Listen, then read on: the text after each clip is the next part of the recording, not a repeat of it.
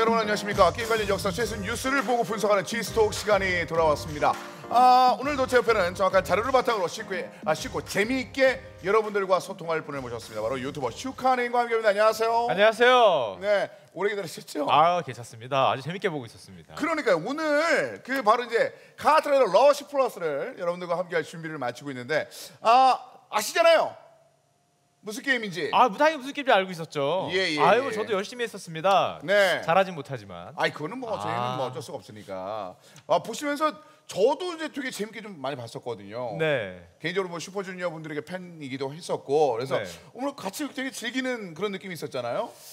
아뭐 연예인분들이 나와서 야 나도 나가서 같이 하는 건가 했더니 너는 여기 대기하라 그래서 열심히 네. 재밌게 구경하고 있었습니다. 그러니까 그 덕분에 어, 저희 시간이 좀 짧아요. 그래서 제가 15분 컷 해야 됩니다. 아, 예. 네, 빠르게 끝내도록 하겠습니다. 오케이, 3분 넘어갔어요. 아, 네, 근데 사실 그 카로플에 관련된 거는 여러분들께 먼저 말씀을 드리고 가는 게 맞는 것 같아서 카트라이더 러시 플러스 뭐 혹시라도 모르시는 분들을 위해서 먼저 먼저 말씀을 드릴게요.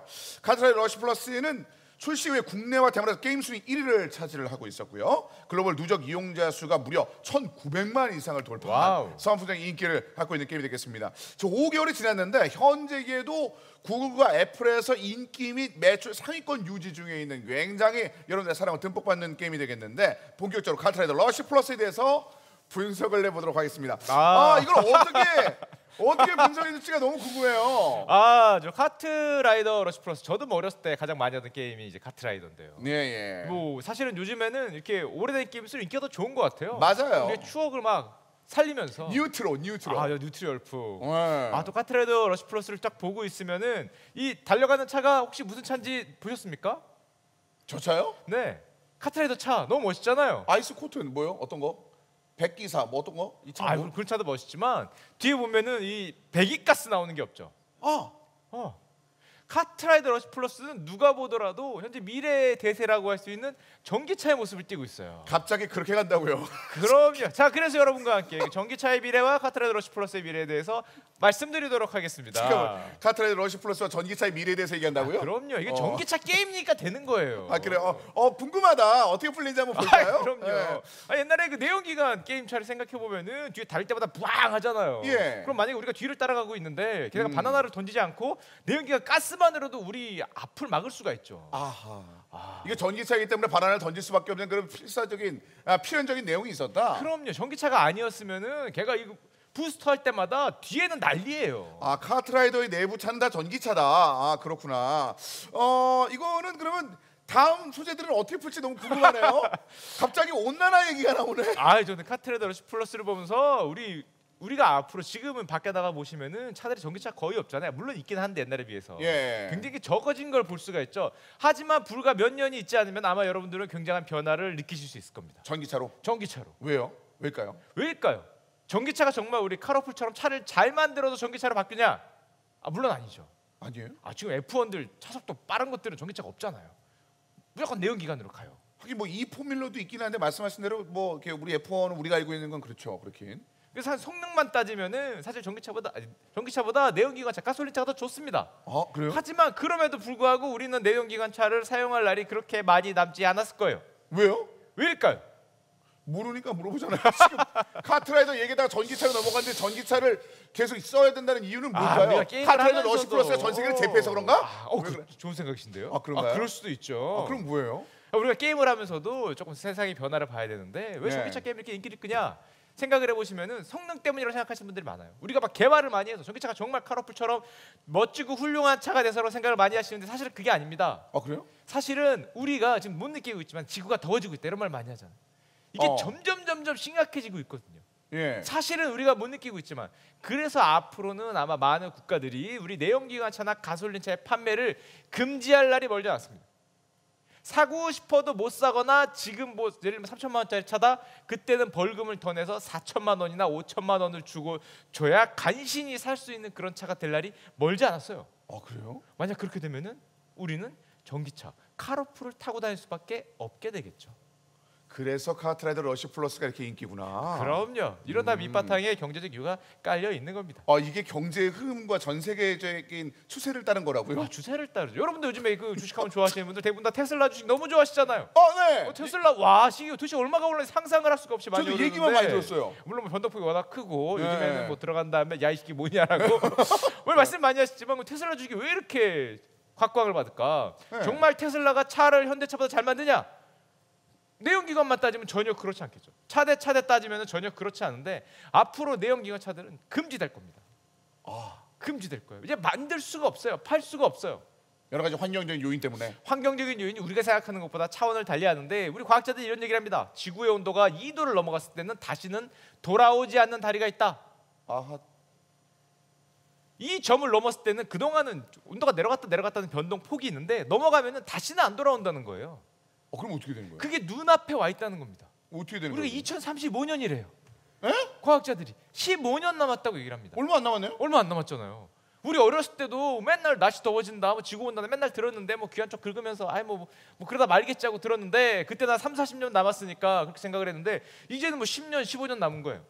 만약에 그 점을 지금처럼 내연기관 차를 사용하면서 아무런 걱정 없이 지나가는 경우에는 지구의 온도는 다시는 돌아올 수 없는 다리를 넘어간다는 거죠. 그렇기 때문에 카트라이더 러시 플러스를 해야 된다고요? 그렇기 때문에 카트라이더 러시 플러스 같은 전기차 게임이 세계를 휩쓸 것이다.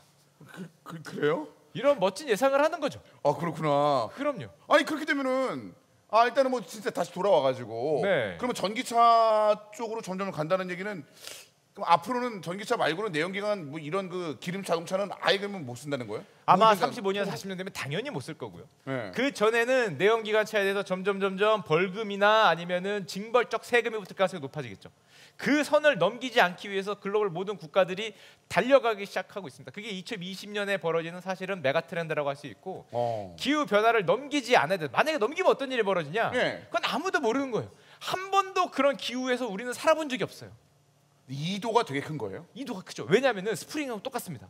스프링이 이 정도 벌어지면 놓으면 돌아가잖아요. 네. 어, 재밌잖아요. 놓으면 돌아가고 놓으면 돌아가고. 아. 아. 재밌는데 이렇게 벌리면 놨는데 안 돌아가요. 어 너무 슬프다. 흐물흐물 이렇게 되죠. 아 이렇게 돌아가야 되는데 이게 안 돌아가요. 그러더니 점점 점점 길어져. 이 점이 있습니다. 돌아올 수 없는 점. 임계점. 임계점. 아 좋은 단어. 아 어려운 단어예요. 네, 갑자기 떠올라긴 아 했는데. 사건의 지평선 뭐 이런 단어 있죠. 인터스텔라의 네. 각 근접하니까 돌아올 수 없는 지점이라고 말하는 그 지점이 사실은 우리는 눈앞에 와 있는 거예요. 그렇기 때문에 카로프를 우리가 할 수밖에 없는 거죠. 갑자기요? 아 이거는 어쩔 수 없는 사회의 변화입니다. 아 그렇구나. 여러분의 차가 여러분이 테슬라를 사랑하지 않거나 카로프를 사랑하지 않다, 않는다고 할지라도 전기차로 바뀔 날이 정말 얼마 남지 않은 거예요. 내연기관차도 잘 보관해둘 필요가 있어요. 나중에 뭐 이게 뭐 뭐가 됐죠? 나중에는 정말로 귀하디 귀한 우리 아빠, 우리 할아버지가 옛날에는 이런 차를 탔단다. 이러는 어떤 역사적 유물이 될 수도 있는. 우리는 그런 시대에 살고 있습니다. 아 굉장히 그 신기한 접근이네요. 그러니까 아, 전반적으로 그 내용들 자체가 결론 결론을 카러플로 지금 마무리를 짓고 있기 때문에 아 그럼요. 어, 일단은 저희가 준비한 내용들이 다 전기 자동차긴 한데 아니 카러플 보셨잖아요. 차가 네, 밟자마자. 어떻게 갑니까? 스무스하게 가죠. 맞아요. 소리 안 나고 윙 가잖아요. 네. 제가 할 땐 너무 빨리 가. 그래서 자꾸 벽에 부딪히는데 우리 내연기관 차는 보면은 속도가 이렇게 단계적으로 올라갑니다. 근데 카러플은 전기차니까 어떻게 가요? 누르면 휙 가요. 자꾸 벽에 부딪혀. 이게 이게 자꾸 꺾어지고. 저 개발자하고 좀 얘기를 해봐야겠는데요. 저 카러플 개발하시는 분이 이거를 전기차로 생각했는지 모르겠는데. 지나치게 사실적으로 묘사한 게 아닐까 생각을 하는데 아, 지나치게 사실적이다. 지나치게 사실적이다. 아. 제가 샌프란시스코 갔을 때 자율주행차를 겸하는 전기차를 시범적으로 한번 타본 적이 있거든요. 어떤 기업 거를 네. 탄 다음에 사고 나는 줄 알았어요. 출발을 모르겠어. 갑자기 출발한다 그러는데 이게 제로백처럼 확 출발을 하니까 어, 카트에서 탄줄 알았어요. 아, 그때 제가 깨달았죠. 카로풀은 전기차를 대상으로 한 게 확실하다. 샌프란시스코까지 갖다 붙여서 카로플이 전기차라고 얘기한다고요? 제가 그때 확신을 했습니다. 네. 카로풀은 전기차임이 확실하다. 아, 왜 이렇게 붙여보세요? 왜 사자처럼 쳐다보시는 그 눈빛은 무엇이죠? 어, 많은 채팅창에 좀 슈소리라고 나오고 있어요. 아니 아니 확실한 겁니다 이거는. 이거 아? 과학적인 바탕을 이렇게 과학적인 배경이 있잖아요. 아, 그랬구나. 우리가 이 도를 넘으면 안 된다. 어. 석유 시대는 종말이 온다 이런 얘기를 네. 합니다. 아니, 그러니까 거기까지는 경제 신문에 나올 만한 내용이에요. 네. 뭐 세계 뭐 내연 기관에 뭐 어, 문제 내연 기관이 환경을 망치니까 네. 온난화 때문에 문제가 생긴다. 그럼요. 그래서 결국 전기차로 돌아갈 것이다. 여기까지 이해했어요. 맞아요. 샌프란시스코의 굉장한 그 자동차 여러 가지 흐름들의 트렌드를 느낄 수 있는 자율주행 자동차. 그러니까 네. 이해했어요. 네. 근데 그래서 카로풀 타야 된다? 그럼요. 전 그래서 카로풀에 기능을 더 넣어야 된다고 생각해요. 아 그래요? 오토 주행, 아하. 자율주행 넣어야지 누르면. 아, 저 같은 사람들은 가다 자꾸 부딪혀. 레이싱 게임인데 오토를 넣어? 아니, 가끔 360도 돌잖아요, 이렇게. 네. 그럼 정면 쳐다보다가 승질 나서 이거 던져요, 이거. 내 다시는 이 게임을 안 한다. 이 승질을 할 때가 있거든요. 아 레이싱 게임이고 1대1로 사람끼리 경쟁을 하는데 오토를 넣어라? 아, 그리고 가끔 이렇게 열받을 때를 생각해서 네. 게임 중에 한 10초 정도, 20초 정도는 마음을 relax하게 할 수 있는 아, 전기차를 지향한다면은 오토파일럿 기능 정도는 간단하게 넣어줘서 버튼을 눌렀을 때 내가 각도가 좀 어지럽힐지라도 앞을 보고 갈 수 있는 아 이런 리셋하는 기능 정도는 당연히 넣어줘야 됐지 않나. 지금 나- 아, 나온 게 뭐야? 방치형 레이싱 그리고 아니, 요즘 알- 리셋형 레이싱 이런. RPG도 요즘 자동 사냥을 하는데 아하 필요하다. 필요하죠. 카러플 쪽에서는 좀 인지를 하셔야 돼요. 물론 지금은 주행 중에 도움을 주는 아이템 뭐 이런 건 있어요. 그 초보자를 네. 위해서. 하지만 그거보다 더 앞서서 아, 필요하죠. 오토 파일럿 기능이 소- 아, 아, 추가된 아, 우리는 방치형 레이싱이 그게 미래다. 회사 생활을 하다가 잠깐 한단 말이에요. 네. 그러다가 서- 뭐 부르면 부장님 부르면 쳐다봐야 될 거 아니에요. 아. 아, 갖다 부딪히잖아. 그때는 오토 파일럿 들어가야 오토 된다. 기능이 필요한 겁니다. 자사이에서 살해. 그럼요. 어. 사이사이를 메울 수 있는 이런 진취적이고 21세기를 지향하는 이런 놀라운 기능 이런 거를 넣어줘야 진정한 미래 전기 자동차에 맞는 카러플의 시대가 오지 않을까 이런 생각을 하는 거죠. 자 15분 됐어요. 아, 더 못나요? 아니 안, 안한 얘기가 많은데. 아 그럼 좀 더 해줘봐요. 아, 예를 들면은 우리 뭐 석유 시대 정말 이런 얘기도 하기 때문에 네. 앞으로 어떤 게임이 만약에 그 내연기관처럼 연기를 쫙 뿜으면서 그런 나오는 게임이 있다. 그럼 예를 들면은 카로프 같은 경우 상대적으로 또 부각을 받겠죠. 그럼 내연기관을 뿜으면서 만드는 자동차 게임을 만드는 쪽은 환경세를 내야 된다는 얘기예요? 환경세를 내거나 아니면 뭐뭐 저를 더 모셔 준다면은 뭐 거기에 따른 논리를 다시 한번 개발해 보겠지만 또 지금까지 봐서는 그런 게임을 하면 안 되는 거지. 아니 게임에서 연기 나오는 게임 활용을 하는 이런 친환경적인 게임으로 가야 된다. 그래서 카러플 해야 된다? 그래서 카러플을 해야 되는 거죠. 어, 어 저희가 지금까지 전기차에 관련된 내용 바로 저까지 지난주까지는 그 슈카에게 굉장히 다양한 좋은 얘기를 들을 수 있었거든요. 아, 좋은 얘기인데 지금 그 나쁜 얘기입니까? 아니 그게 아니라 자기를 결국 광고로 써달라. 내연기관 나오는 게임 만드는 게임 개발자들은 반성해라. 반성해야죠. 뭐 이런 얘기예요? 반성해야죠. 광고를 하려면 제대로 해야지. 반성 안 하려면 자기를 써라. 그럼요. 아, 그 얘기예요? 그 반성해서 논리를 만들려면은 그런 되도 않는 논리 말고 이런 미래지향적인 기술 바탕으로 한 이런 확실한 논리가 쌓여 있을 때 카로플처럼 글로벌한 게임으로 나갈 수 있다. 아하. 역시 그 지금 누군가 누가 우리에게 시간을 주는지를 정말 잘 알고 있는 슈카가 아. 그럼요. 지금 전반적으로 전 세계 어, 게임들의 내용들이 굉장히 많이 나오고 있는데 네. 아, 한국적 게임사가 아니기 때문에 저희는 그냥 넘어가도록 하겠습니다. 아, 예, 예, 예, 알겠습니다. 어, 어쨌든 이렇게 해서 전기차의 대명사 카트라이더 러시 플러스에 관련된 내용까지 한번 쭉 한번 만나봤습니다. 그러면 카로풀이 몰고 올 게임 시대의 변화까지 우리가 든 셈이거든요. 네, 그럼요. 게임 시대 변화. 요즘 사실 많이 하고 있어요. 네. 자동 기능. 예. 이걸 왜 안 넣은 거냐? 아하. 저같이 손이 이런 사람들은 카로플 몇번 하다가 아우 이거 진짜 아우 막 여기까지 올라오잖아요. 근데 말 듣다 보니까 말이 되는 게 네. 방치형 레이싱 게임 뭐가 나빠요? 세팅 구- 아, 값만 내가 좀 정확하게 정, 어, 나쁠 거 해주고. 만약에 내가 그만 스탯 좀 찍고 그럼요. 그러면 그거끼리 정정당당하게 AI끼리 경주하는 이 네. 모드 만드는 거내 이게 칼 뭐가 레벨이 나빠? 올라가고 어, 얼마나 어. 좋습니까? 생각해보니까 말이 되네요. 말이 되죠. 모험 모드 만들고 인스턴트 던전 만들고 어. 자동차끼리 달려가서 용가리를 잡고 어이! 그런 다음에 무장을 해서 나랑 걔랑 1대1로 레이싱하는 그런 게임 충분히 만들 수 있지 않을까? 굉장히 좋은 얘기네요. 아 훌륭한 아이디어지 않습니까? 그렇습니다. 그 지금 말씀해주신 몇 가의 아이디어는 약간 구현해서 시즌 4에 곧 나와요. 아, 나옵니까? 정말 미래를 오네. 아, 뭐 예측했습니다 제가. 고사님 시즌 좀 지나고 나면 아, 말씀하신 것처럼. 벽에 부딪히면 인스턴트 던전 열릴 거예요. 그래서 아, 새로운 막 이런 데로 들어가고 비밀문이 열린다. 네, 이런 거 되겠네. 다섯 명이 레이싱을 하는데 한 놈이 없어지는 비밀문으로 들어간 거네요. 와우. 오. 이런 게 가능하다라는 내용까지 이제 말씀을 드리도록 하겠습니다. 예. 네, 이렇게 해서 아, 고품격 라이브 지스타 아, 정말 오늘- 고품격이네요. 네, 오늘의 지스톡에서는 슈카님과 함께 네. 카트라이더 러시 플러스와 전기차의 상관관계 왜 뜰 수밖에 없는가? 그리고 왜 어, 레이싱 게임은 어떤 미래를 가져야 되는지 미래 지향적인 게임이 돼야 된다. 네, 이런 얘기를 한번 말씀드려봤습니다. 그럼 끝으로 네. 어, 카러플로 인해서 변화가 찾아올 전기차 시장에 대해서 한 말씀 부탁드리겠습니다. 갑자기 또 전기차 시장으로 가야 되나요? 네. 아, 전기차 시장은 당연히 열릴 겁니다. 아 우리가 얼마 전까지만 해도 카트라이더를 카트라이더 러시 플러스로 이걸 할 줄 몰랐잖아. 맞아요. 똑같아요. 자동차가 전기차로 변하는 순간 어느 순간 올 겁니다. 삐삐가 없어지고 스마트폰 열린 게 어느 순간에 왔어요. TV에서 안 보고 핸 스마트폰으로 보는 게 어느 순간에 왔어요. 당연히 전기차도 어느 순간에 올 거예요. 아 어느 순간에. 그러면 얘기하겠죠.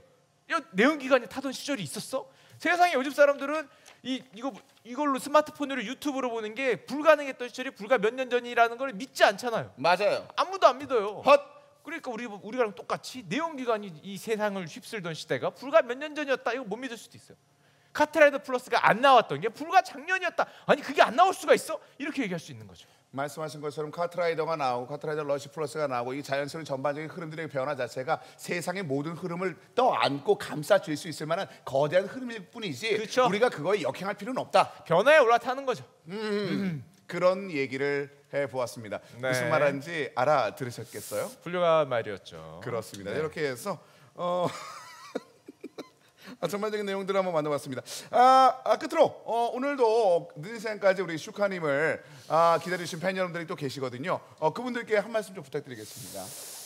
아 늦은 시간에 좀 뭐 이런 얘기 상당히 죄송스럽다 일단 먼저 아니에요, 뭐 아니에요, 아니에요. 고품격 얘기를 드려야 돼. 나또 고품격이었잖아요. 음. 누가 보더라도 너무 좋았어요. 아 누가 어떻게 아니 온난화 나오고 자율주행 나오고 전기차 나왔는데 어떻게 이게 고품격이 아니에요? 게임 게임을 분석하는데 이렇게 과학적인 방법으로 미래의 변화, 우리 전기차 시대, 석유 시대 종말을 얘기하는 사람이 어디 있겠습니까? 카러플 쪽에서도 엄청 좋아하실 거예요. 아 그럼요. 네. 오토파일럿 기능 꼭 부탁드리겠습니다. 네, 여러분들 많은 사랑 부탁드리겠습니다. 자, 이렇게 해서 어, 오늘 그 지스톡 어, 슈카님과 함께 카트라이더 러시 플러스와 전기차에 관련된 내용들을 한번 살펴봤습니다. 저희는 다음 이 시간에 슈카님과 함께 다시 돌아오겠습니다. 함께 해주신 여러분 고맙습니다. 감사합니다.